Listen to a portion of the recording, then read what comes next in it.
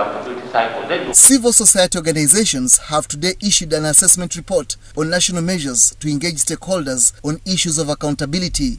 The report shows negative improvements at the community level and positive improvements at the district level, which leaves a question mark.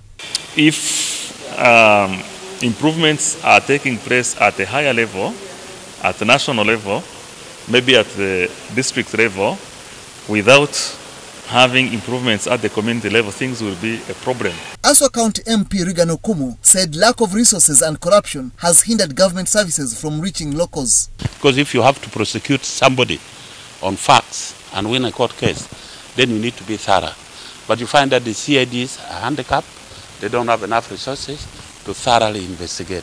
Okumu says that there are political wings in government bodies that fight corruption but are selective. So the district should also have their own resources. There's nothing like hard to reach in investigating corruption.